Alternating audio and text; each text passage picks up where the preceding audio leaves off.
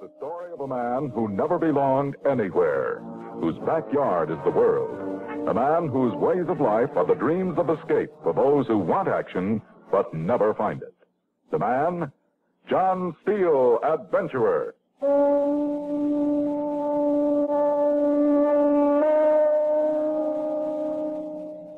Some of my best friends are behind bars. They were born there. Maybe that's why they live such a long time. They're safer where they are. I'm talking about animals, lions in particular. I have one lion story I call Bwana Simba. Like to tell you about it. Me, I'm John Steele. Trademark, adventure.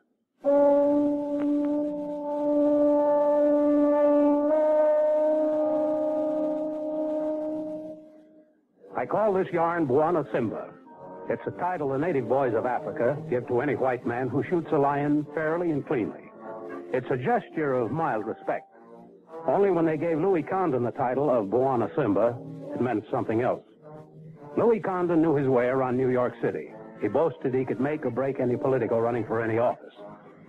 The only thing certain about him was he'd made a million dollars without breaking his back with hard work. I met him in Africa, in Nairobi, Kenya. Him and his wife. Louis had run true to form. He wanted a beautiful wife, and he looked for her in show business and came up with a real doll named Gwen St. Clair. Gwen was a blonde and gorgeous. The one thing that didn't hit you at first was that she had more depth than any gal with her looks really needed. It was a hot night, just before dinner, when she walked into the cocktail lounge of the Colony Hotel and spoke to me. Mind if I join you? What'll it be? Oh, I don't know. You know your own taste. I sometimes wonder. How about a pink gin? Okay. Johnny, Oh, yes, Mr. Steele. scotch and soda for me. Yeah. Pink gin for the lady. Oh, yes, sir. You got a match? Sure. Here. Thanks. Where's Louis? Crossed at the gunsmith. Oh? Buying a couple of rifles. He's going hunting? Yeah. He should have gone with that big safari yesterday. Oh, he says we'll catch up with it. You going along? That's what Louis says. Well, since you're in Africa, you may as well see some of the bush country. I'm scared. You are? Awful scared. Oh, it won't be bad. You'll have some boys with you and a guide. No. No. Some native boys, yeah, but no guide. Well, the boys will know the way to where the safari is. Well, I'm scared just the same. Oh, here we are, Mr. Steele. Oh, thank you, Johnny. Here, sip this. Thanks. The safari can't be more than 50 miles up country. You'll go by jeep. Why, you'll overtake it in no time at all. Look, Yeah? you were saying last night you're staying here for another two weeks. Well, I'm trying to finish a book. Would you go with us? Go with you. Yeah. You don't need me, Gwen. You know this sort of country. Louis doesn't. He doesn't know the first thing about it. It'll make a lot of sense now if you hired a professional guide. Oh, he won't. He thinks he's smart. Well, here he is now. Will you go with us? Look, you're on your honeymoon. Some honeymoon. Easy, easy. It's okay. I turned my back, and what happened? I find my bride drinking with another guy. it's okay, Steve. You're all right. Hey, baby, it's okay. Sure, he's okay, Louis. Yeah, drink up, Steve. I'll buy drinks. We'll have champagne. Celebrating something? Sure, I'm going big game hunting. Me and Gwen here. Louis, Yeah, baby. uh, Mr. Steele said he'd like to go with us. Yeah? Okay, Louis? Why not, Steele? You want to come along? Okay. Well, are you sure I won't be in the way? Yeah, it'll be okay. More the merrier. Hey, you know all about lions? Nobody knows all about lions. yeah, that's good. So we'll go lion hunting and find out about them. What do you say, Steve? Want to go along? It's a deal. You and me and Gwen here and a few native boys. When do you want to go? Tomorrow morning. Well, I doubt if you'll get many boys to go at such quick notice. Then we go without them. It has been done, I suppose. This is Louis Condon. Yeah, yeah, I know, I know. Yeah, sure you know, Steve. We get some boys okay. We don't get any, it's still okay. By me, it is. Yeah, I'm glad you're going with us, Mr. Steele. Yeah. Watch it, baby. Watch it, huh? What's the matter with you? Yeah, just kidding, baby. Just kidding. You know me. Yeah, I'm beginning to.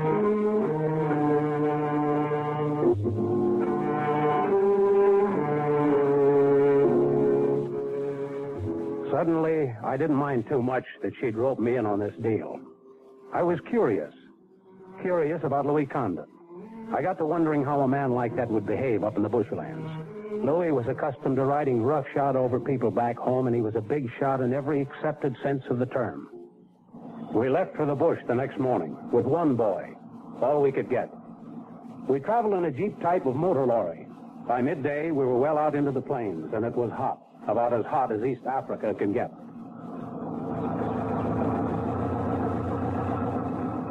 Yeah, lousy sun. We should have stayed at the hotel. It's okay. Sure, why not? Hey, Steele, Yeah, yeah. is it going to be like this all the way? No, it'll get worse during the afternoon. Yeah? And you better keep your hat on. Yeah. Yeah. You don't make such a fuss, Louis. I got a lot of weight. It gets me. Well, maybe you'll lose a few pounds, huh? Don't make jokes with me, baby. Well, you could lose a few pounds. You could use a few. You complaining? Ah, shut up, baby. Hey, look, Mr. Steele, there's hmm? animals over there. Tommy's, sort of an antelope. they're cute. They're kind of crazy mixed up, but they're cute. You'll see a lot of things out here. Just keep your eyes open. Hey, Steele, Yeah? I'm bushed. Let's stop someplace. If you want to. There's some trees up there ahead of us. All right, we'll make camp there. You hear that, George? We'll make camp under those trees. Just one up. Huh? Hey, stop this lousy truck for a minute. Just why not? What's the matter, Louis? Over there. Oh, wait a minute. I saw something move in that grass. What about it?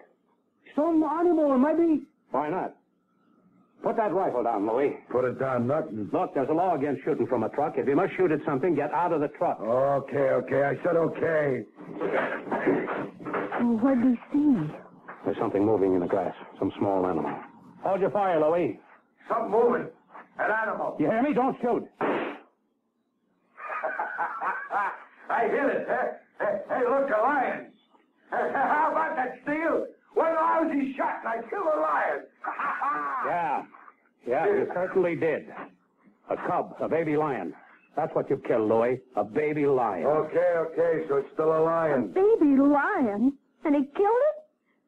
You killed it, Louis. You killed it. Ah, bwana Simba. Oh, oh, oh. Bwana, bwana Simba. Bwana Simba. What's that mean? I said, what's it mean? He thinks you're a great lion killer, Louis. He thinks you're a very brave man for shooting a lion cub. Look, look, Steele. Let's not get wise about this. I'm a big man, see? I wouldn't want to get rough. Why not, Louis? Look, pal, I'll shoot what I like. I don't ask, see? I don't ask no punk like you. I... Uh, all right, Steele.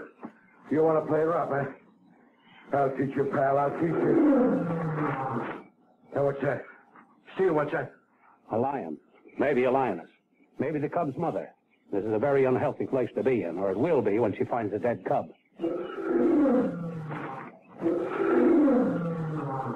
It's the mother lion, Louis. I know it is. Okay, okay. Well, let's get out of here, Steele. I said, let's get out of here.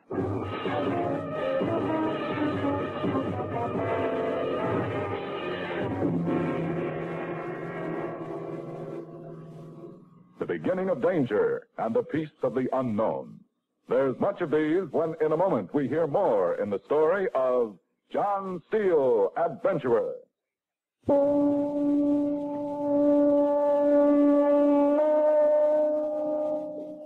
Africa is a funny place. Sportsmanship means a lot in a good many places around the world. But in Africa, it's the law. And the law is very simple. You break it, and you go to jail or you're heavily fined, and you don't get your hunting permit renewed. We pushed on. The lioness would find her dead cub, that was sure. If we were around, she'd attack, and someone, me, would have to shoot her in self-defense, and I didn't want to. So we pushed on all that afternoon. Louis was in a cold sweat. Somehow the mental picture he had of the lioness finding the cub he'd killed scared him. It was close to sundown when we made camp. I chose a spot out in the open, some 15 miles of rough country between us and where the cub had been killed. Bwana Simba. Oh, bwana Simba. Bwana Simba. Shut up! I said shut up! Take it easy, Louis. Well, try to make a monkey out of me. Oh, cut it out, will you, Louis? So I killed a lion cub. So what? That boy will have to report it when we get back. Report, report. Who cares? Well, it won't make you popular. Hey, Steele. Yeah? I haven't forgotten. Excuse me now. I'll take a look around. Yeah, they'll settle with that punk. Oh, relax. Don't tell me what to do, baby. It just makes me sick, Louis. What does? I don't know. Maybe I'm crazy, but I keep thinking of that line and finding a dead baby. What about it? Animals have got feelings, Louis. Yeah? Sure they have. Forget it. I wish I could. I'm scared, Louis. Yeah, you're always scared, baby. It's so lonely out here. It's just like the end of nowhere. A nowhere. lousy place. And you wanted to come up here. Yeah, the boys in New York. So- Me in Africa, going home without shooting a lion. You could have bought a lion skin in the town. Yeah, yeah, I should have done that. Oh, bugs crawling over everything. Yeah, I got a mind to go back. Suit me fine. Yeah, maybe we'll go back, baby, huh? What's so funny? you. Look, You talk so big, but when the chips are down. look, baby, don't get me riled up, huh? I don't know. I was just thinking, that's all. Thinking what? About you and me. it's so funny. You did okay, baby. Sure. Three mink coats, flashy apartment on Fifth Avenue, and limousine to take you shopping. Me who never had anything. Yeah, remember that. That's what I mean. It's funny. You know something, Louis? What? You know what I see when I look at you? Yeah, what? All I see is three mink coats. What's so bad about that? It's funny, that's all. I ought to see something else when I look at the guy I marry. Louis, Well, I don't love you.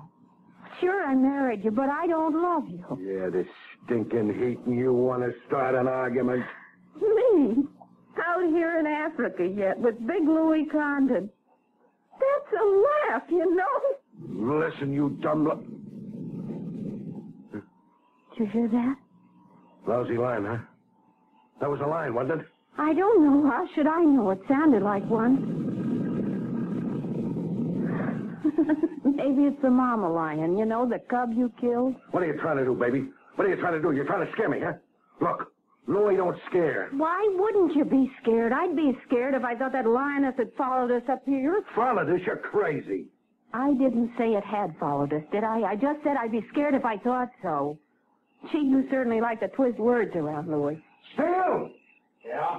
What do you think? About what? That line just now. Well, this is lion country. You, you don't think it could have been that, uh, that one we heard this morning? You mean the cub's mother? Be crazy, huh? We're 15 miles from where that happened. Yeah, she couldn't have followed us, could she? Could have, I suppose. Steele, this isn't funny. Listen, there may be 20, 30, even 50 lions in this neighborhood. Why should the one we just heard be the same one of this morning? Yeah. They all sound alike, huh? Bwana Simba! Bwana Simba! Listen, you!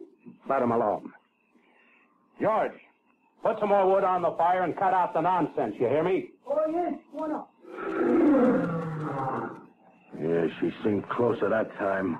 Oh, where you're going to hear that all night in the words. You'll hear screaming, a leopard killing a monkey, all sorts of sounds.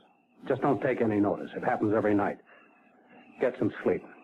We ought to make an early start in the morning if we're going to overtake that safari. I'll have George put up the tent for you.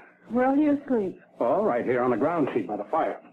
I'm used to the open. We should have brought along another tent. Steele, Yeah? what about somebody keeping watch? I'll take turns with George. Uh, okay. Don't you worry about it. Don't worry about that either.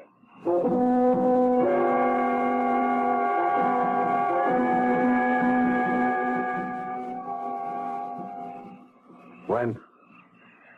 Gee, can't you go to sleep? I've been lying here listening. So let me sleep. This lousy tent, I can't breathe. Oh, Louis, please. How can you sleep? I would if you just let me. Let's go back, baby. Let's go back to town, huh? Yeah, tomorrow morning. No, tonight. Are you crazy or something?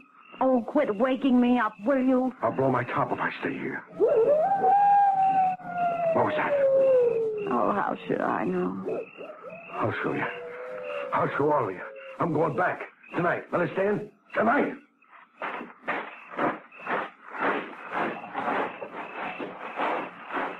What's the matter, Louis? Can't sleep? Nah. Don't walk too far out of camp. I want to smoke. I have cigarettes here. Nah. I got my own on the truck. I'll get them.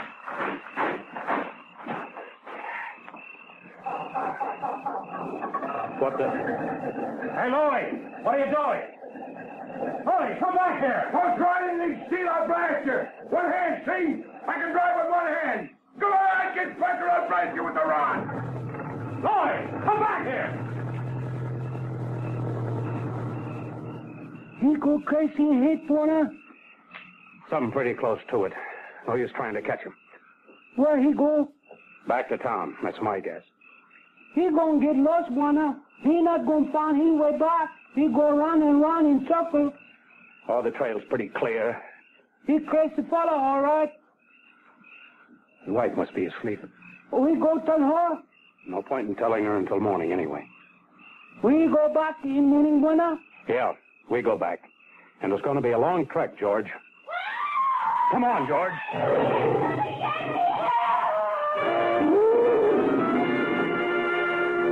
The lioness was backing away from the tent, probably startled by the girl's screams. The animal was a beauty. In the moonlight, she seemed the color of pale gold. The moment she spotted George and me, she sprang towards the bush. I did take aim, but I didn't fire. Why? Maybe because she'd done no harm. Maybe because she was a female. Maybe because she was so beautiful. There could have been another reason. Here, it's all right now. She's gone.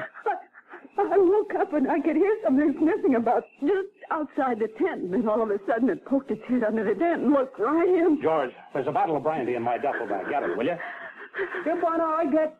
It, it, it poked its head right in the tent and it looked around.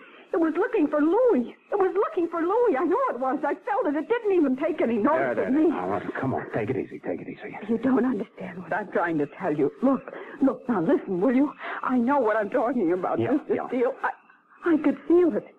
That animal was looking for Louis. Not me. Not anybody else. Just Louis.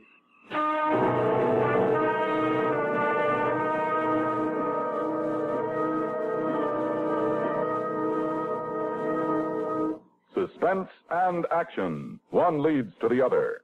And the result we'll hear in a moment with the climax of another adventure with John Steele.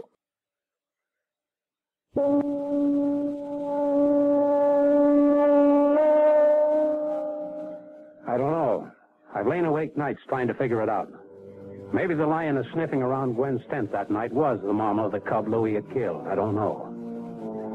Anyway, it took George, the native boy Gwen, and me two days to get back to town. It was night when we reached the hotel.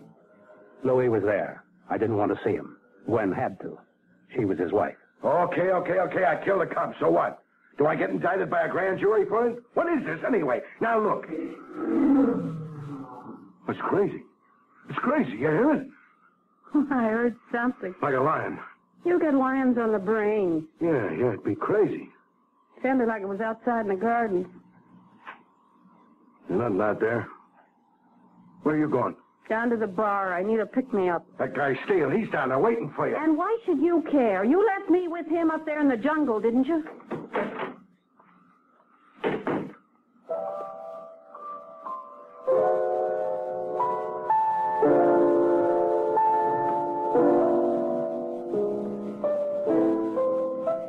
No joking, Mr. Steele. I tell you, it was a lion we heard just then. Could have been.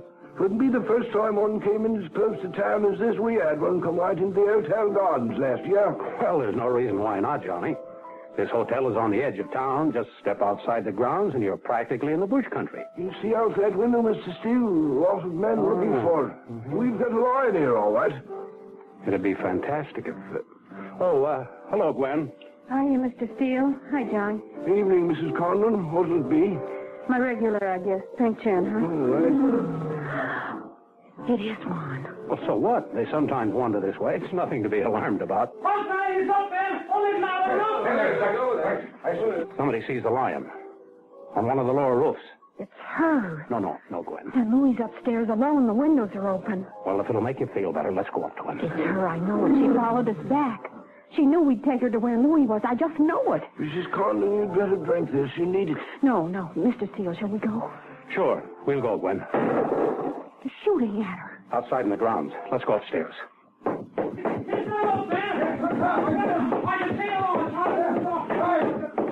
I got an awful feeling, Mr. Steele. Gwen, you're just building something up in your mind. No, it's a feeling. You know what I mean? I, I get awfully strong feelings.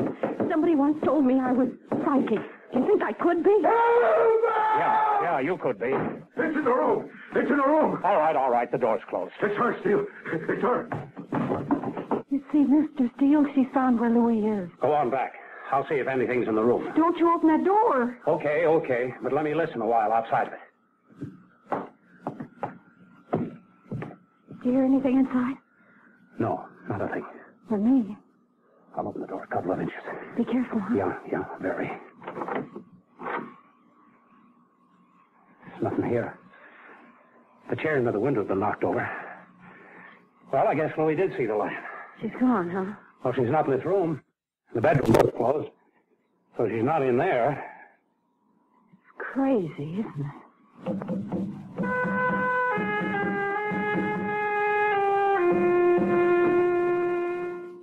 By this time, several search parties were forming. The rest of the hotel guests jammed the cocktail lounge for safety. A few of the old hands, myself included, spread out through the grounds, singly, armed with high-powered rifles. Singly, did I say? I was wrong. I had Gwen with me. I couldn't get rid of her. The whole thing seemed to fascinate her. Not a sign, huh? I should go inside. I, I couldn't. Oh, no, I guess not. I'm not really scared for myself or anybody else except Louis. You're quite convinced, huh? I know what I'm talking about. That animal could be five miles away from here by now. He just wandered into the hotel grounds, got confused, she's scared, and ran off. Mr. Steele, I don't believe it. One of the men saw her. A lioness, a young one, light colored. It must be the same one. Keep still. You see something? I'm not sure. Where? Whereabouts? Across there. This side of the hotel garages. An animal? Could have been a big dog. Could have been, maybe. Don't move. Don't make a sound. On her own. You stay here. It's her. And she's got somebody. A man. She's dragging him along the road. where you are. It's Louis. She's got Louis. I know she has. I can't shoot from this distance. The light's too uncertain. I might hit Louis. Seen us. She's looking back at us. I'm going to try and get closer to her. She found Louis. I knew she would. It's crazy.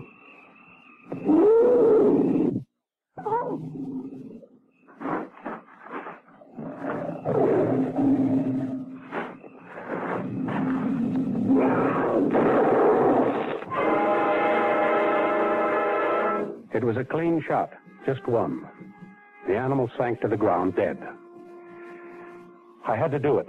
She'd have been hunted anyway until she was killed. Louis was in bad shape. She'd mauled him, but she hadn't killed him yet. My shot brought everybody to the scene, and Louis was rushed to the hospital. Gwen and I went there, and we waited. He's awful sick, huh? Yeah, and he's had a bad scare, too. Poor guy. Mm-hmm. But, but now you know, don't you, Mr. Steele? No, what? It was the same lion. We saw her. It was the same one. She followed us 50 miles to find Louis. No, Gwen, I, I don't really think she was the same one. Just a queer coincidence, that's all. Oh, Mr. Steele, you know different. You just don't want to admit it.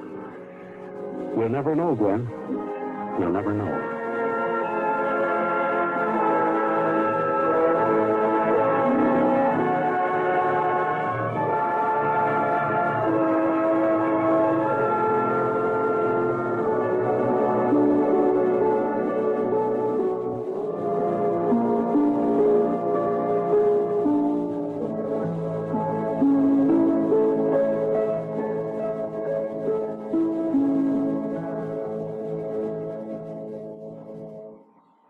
Taking a standby for adventure with John Steele. And in a moment, John Steele returns with more of his story. This is John Steele. Be around next week, huh? And remember, adventure is where you find it. But don't look for it. It may find you.